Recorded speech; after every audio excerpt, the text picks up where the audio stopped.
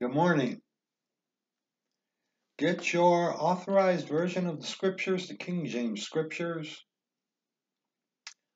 and turn in your authorized version of the scriptures, King James scriptures, the true and real scriptures, to Zephaniah chapter 3. Zephaniah chapter 3. Well, it's looking pretty good, good, that here in America, the Jesuits have selected Joe Biden as the President of the United States. It's not a hundred percent sure, but it's most likely going to be the case. Every single one of you, my countrymen, get ready. No time for messing around. I don't have much in my bank, but today, uh, one of the many things that uh, needs to be done today is that I'm going out to my bank and withdrawing the pittance that I have in there. Um,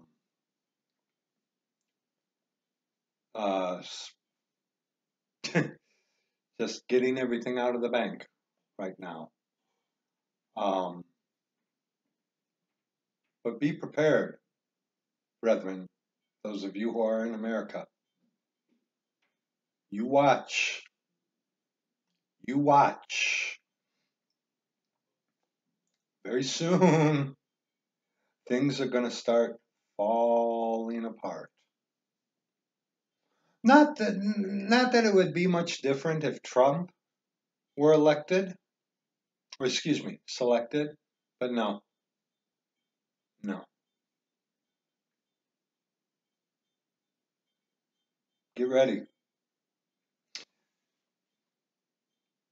Something's going to happen to where Joe Biden isn't going to be fit to run the country into the ground, so to speak.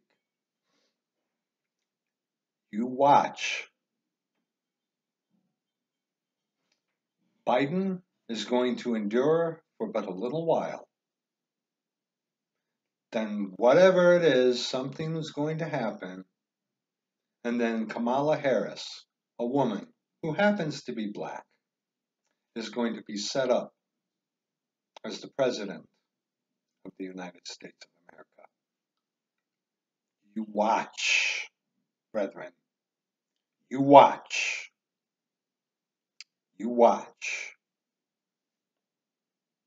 And hey, if later today it comes out that Trump was selected, you watch. Zephaniah chapter 3. Doctrinally, dispensationally, written about the Jewish people onto the Jewish people under the dispensation of the law. But all things that were written aforetime were written for our learning. Romans 15 4. Okay? Now remember, doctrinally, dispensationally, this does not apply to us. Remember that.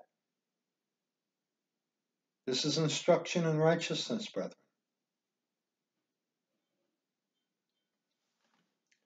Zephaniah chapter 3. Woe to her that is filthy and polluted to the oppressing city. Now, America is not a city, okay? You can tie this in to uh, Mystery Babylon, you know, Rome, Roman Catholicism, okay? You can tie that into her, you know, the Mother Church. But for our instruction in righteousness, you, my countrymen, America is filthy and polluted and oppresses. you just wait. Filthy, polluted with the pornography epidemic. abortion, sodomite marriages,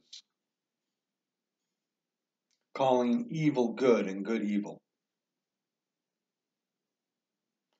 She obeyed not the voice. She received not correction.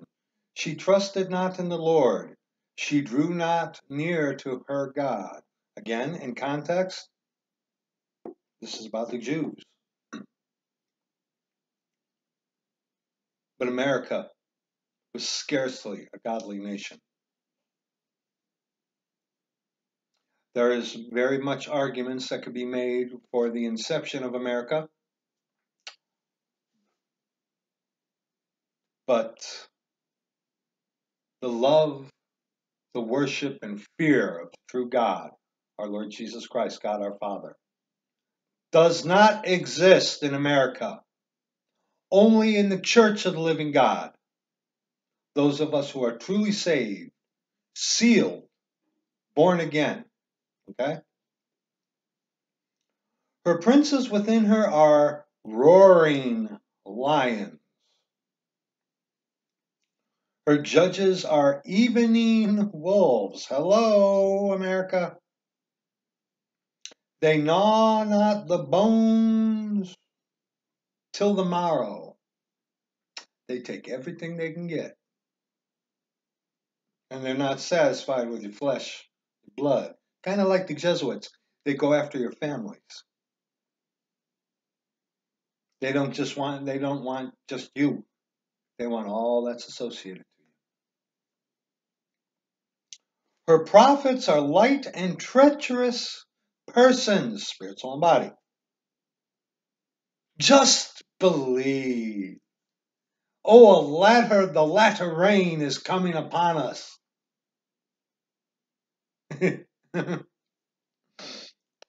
Her priests have polluted the sanctuary. They have done violence to the law. And amen. The Jesuit priests have done violence to the laws of America. To your nation, doesn't matter. This is their hour in the power of darkness, brethren. The just Lord is in the midst thereof. Church of the living God. He who now letteth will let until he, the body of Christ, Church of the living God, be taken out of the way. He will not do iniquity. Every morning doth he bring his judgment to light. He faileth not. But the unjust knoweth no shame. Every single one of you, you fakes, you infiltrators, you coadjutors, you wannabes, you have no shame whatsoever. You have no fear of God, and you have no shame.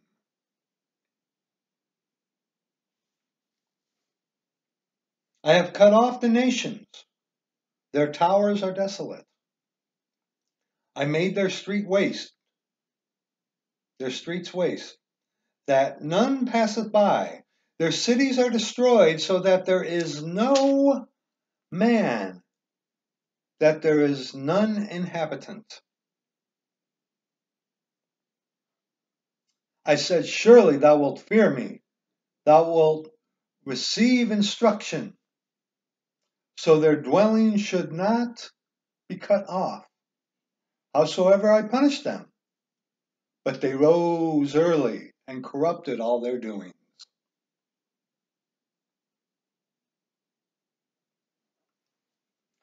Therefore,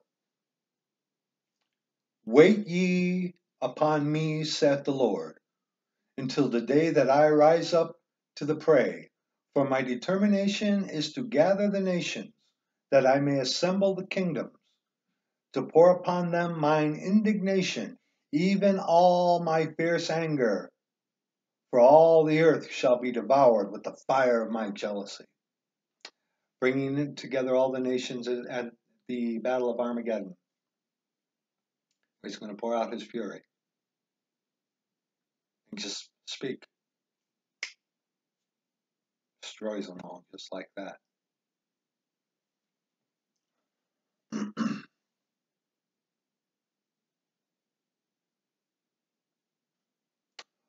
for when I will turn to the people, for then will I turn to the people a pure language, that they may all call upon the name of the Lord to serve him with one consent. Calling upon the name of the Lord.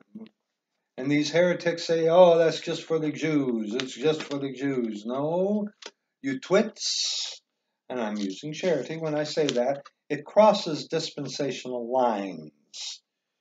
You fools, you serpents, you blind guides. Strain at a gnat, swallow camel. uh. Romans chapter 10, verses 9 and 10 that if thou shalt confess with thy mouth the Lord Jesus, and shalt believe in thine heart that God hath raised him from the dead, thou shalt be saved. For with the heart man believeth unto righteousness, and with the mouth confession is made unto salvation.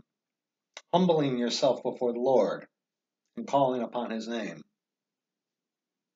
The ultimate shoe of humility, which not one single solitary one of you easy believism heretics has.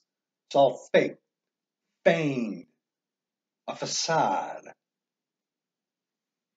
Under, excuse me.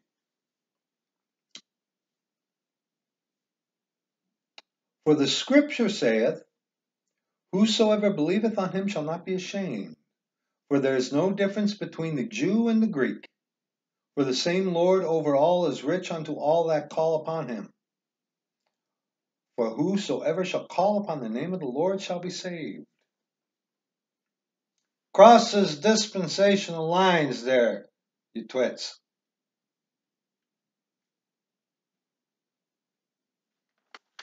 Go back now to Zephaniah chapter 3. Verse 10 From beyond the rivers of Ethiopia, my suppliants, even the daughter of my dispersed shall bring mine offering, referring on to the Jews. In that day shalt thou not be ashamed for all thy doings, wherein thou hast transgressed against me. For then I will take away out of the midst of thee them that rejoice in, the, in thy pride, and thou shalt no more be haughty because of my holy mountain. Talking about the future restoration of the children of Israel.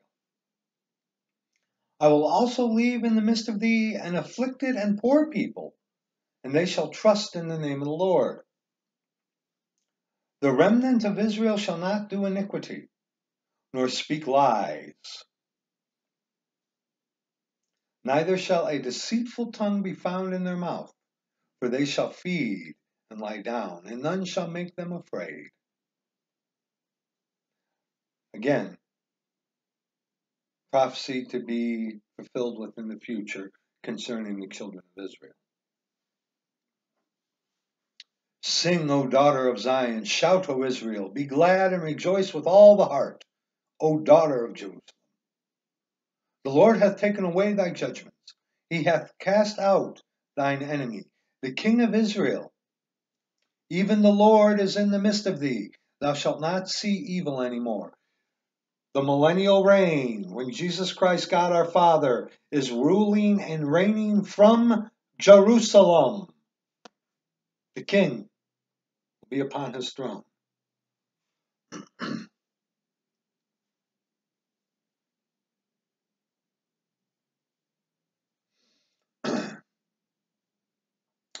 In that day it shall be said to Jerusalem, Fear not, fear thou not, and to Zion, Let not thine hands be slack.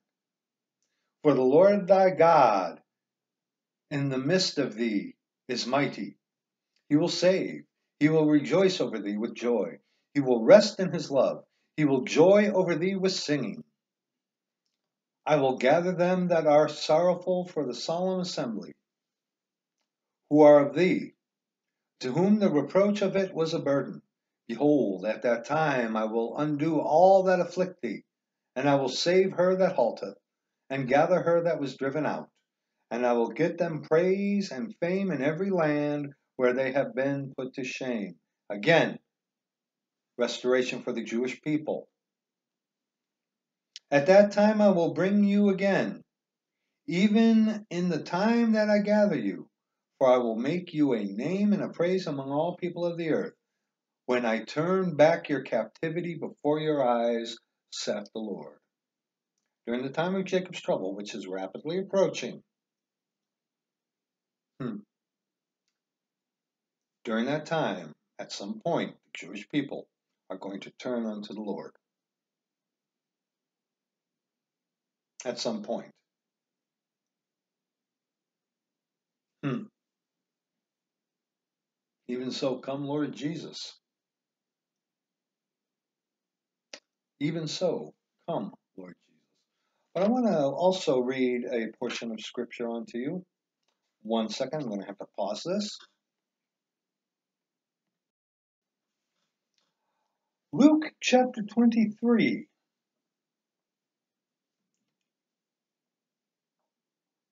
Luke chapter 23, verses 28 on to verse, uh, let's, uh, 26 on to verse 31.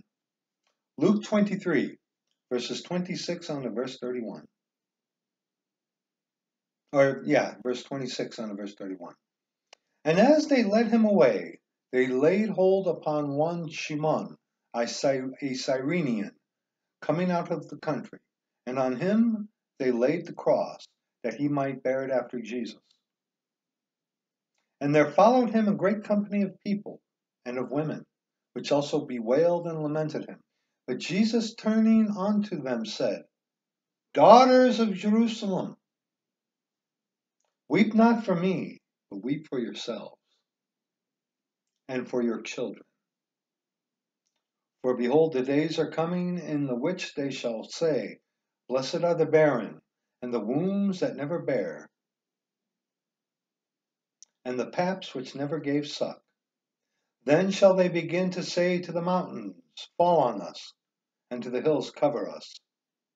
For if they do these things in a green tree, what shall be done in the dry? Mountains fall on us and cover us during the time of Jacob's trouble. He's warning about the time of Jacob's trouble, but for our instruction in righteousness, brethren. For if they do these things in a green tree, what shall be done in a dry? While things were going good here in America,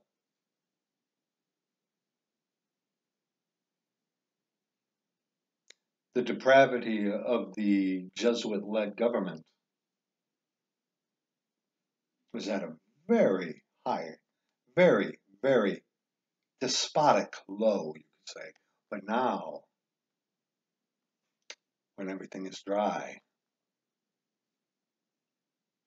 when this nation is crippled and very soon coming upon financial collapse, you're going to see things, brethren, that you never thought would ever happen to any of us here in this nation. Are you ready? Some people will say, well, the Constitution, the Constitution. The Constitution, because of the Trading with the Enemy Act, okay, because we are under executive authority, you know, with the gold fringes around our American flags, the Constitution can be circumvented for the common good. Okay? Our American Constitution is a guideline, not a binding contract.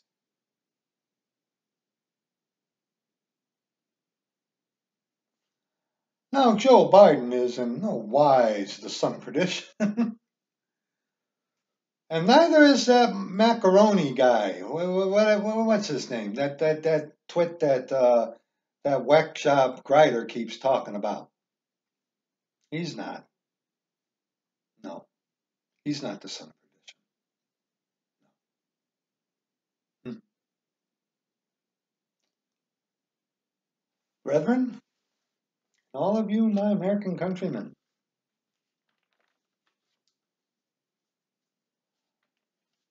Biden, you you watch.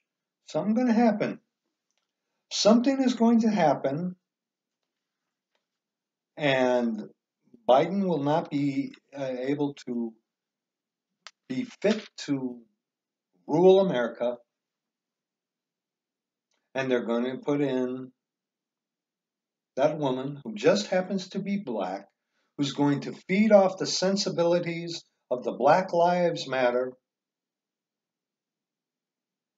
And we are going to begin to see devastation in our streets, uh, even more so than ever before. They're going to come for our guns, perhaps. Forced vaccinations. Not forced, but if you don't, then we're going to take this, this, this, this, this, this, this, this, this, this. You don't have to. Hmm. This is where this is where the rubber meets the road, brethren. You've stood for the scriptures, Word of God, the authorized version of the scriptures, King James scriptures, the true scriptures.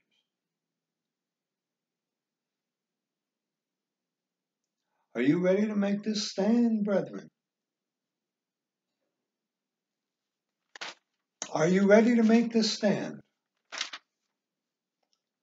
When is it exactly coming? Uh, I mean, I don't know, but it's just right at the doorstep, brethren, sisters, and we need to be prepared.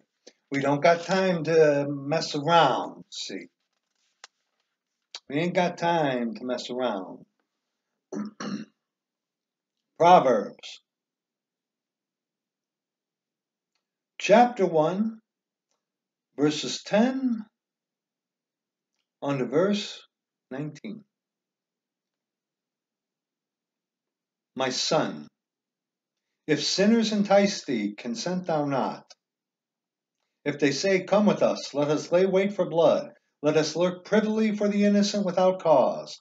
Let us swallow them up alive as the grave, and whole as those that go down into the pit. We shall find all precious substance. We shall fill we shall fill our houses with spoil. Cast in thy lot among us. Let us all have one purse. My son, walk not thou in the way with them. Refrain thy foot from their path, for their feet run to evil and make haste to shed blood. Surely in vain the net is spread in the sight of any bird, and they lay wait for their own blood. They lurk privily. They lurk privily for their own lives. So are the ways of everyone that is greedy of gain, which taketh away the life of the owners thereof. Also, today is the fourth. Did you read the fourth proverb today at least? Proverbs 4, verses 23 on verse 27. Keep thy heart with all diligence, for out of it are the issues of life. Put away from thee a froward mouth, and perverse lips put far from thee.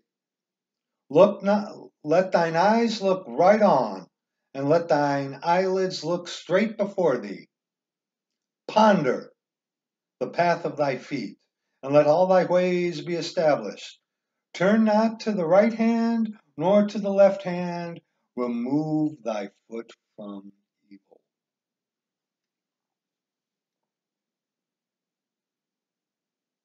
Brethren, sisters, you need to examine yourself right now.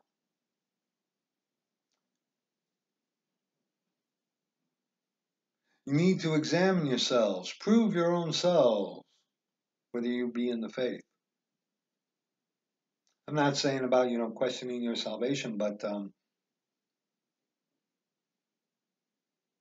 again, not not one of us thought we would see what is going to be soon coming.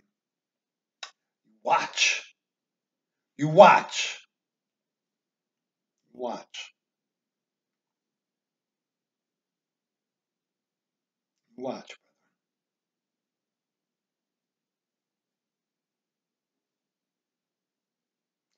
Prepare yourself. Be prepared. Be ready.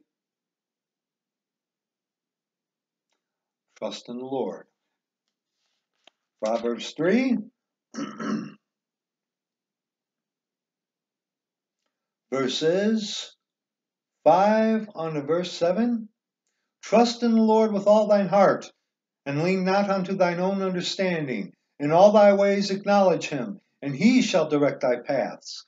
Be not wise in thine own eyes. Fear the Lord, and, de- and depart from evil. Second Timothy. Second Timothy. I'm using the set of scriptures that was given me as a gift. Second Timothy chapter 1 verses 6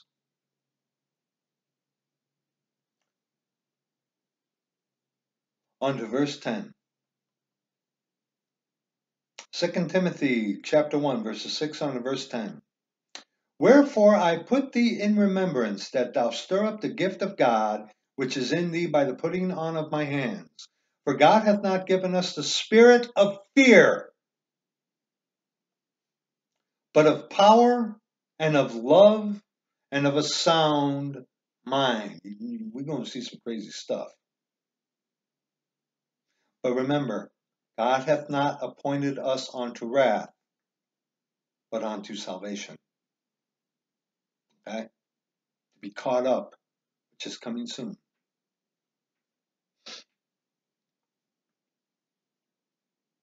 Be not thou therefore ashamed of the testimony of our Lord, brethren, especially now.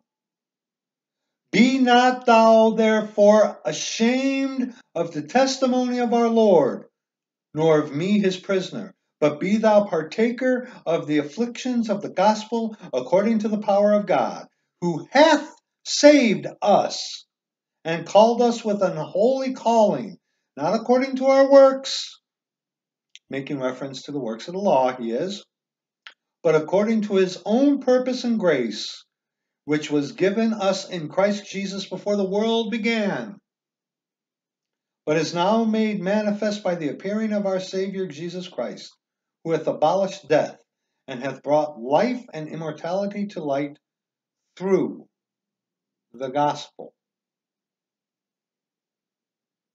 What is that? What is that?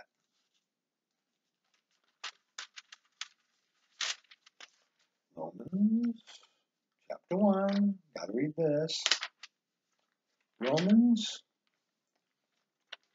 chapter 1.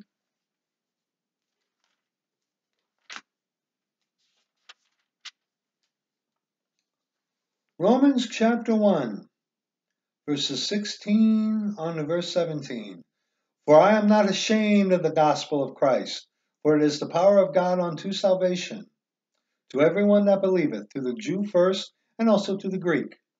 For therein is the righteousness of God revealed from faith to faith, as it is written, The just shall live by faith.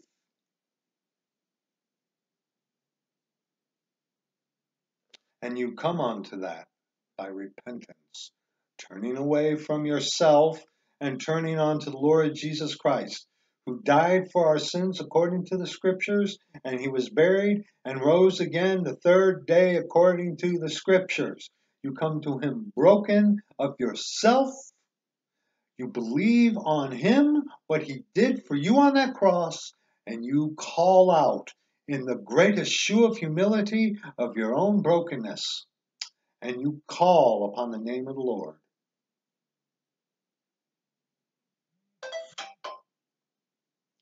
Be prepared, brethren. Be prepared.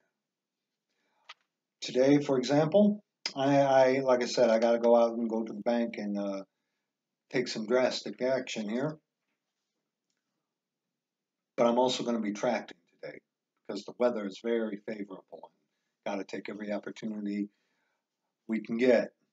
1 Corinthians 15, verses 1 through 4. Moreover, brethren, I declare unto you the gospel which I preached unto you, which also ye have received, and wherein ye stand, by which also ye are saved, if ye keep in memory what I preached unto you, unless ye have believed in vain. For I delivered unto you first of all that which I also received, how that Christ died for our sins according to the Scriptures, and that he was buried, and that he rose again the third day according to the Scriptures. And also, beloved brethren, let us not forget. Let us not forget. First Timothy.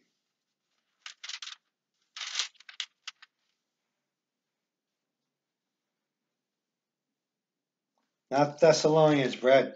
First Timothy chapter 1 verse 15. This is a faithful saying and worthy of all acceptation that Christ Jesus came into the world to save sinners, of whom I am chief.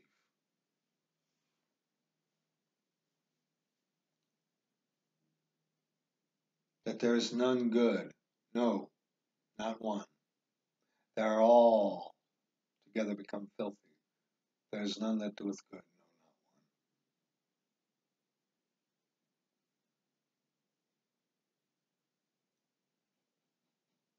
not one. Don't be afraid. We knew this was going to come. And it is rapidly approaching. Rapidly approaching, brethren.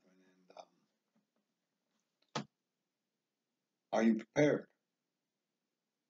Are you ready?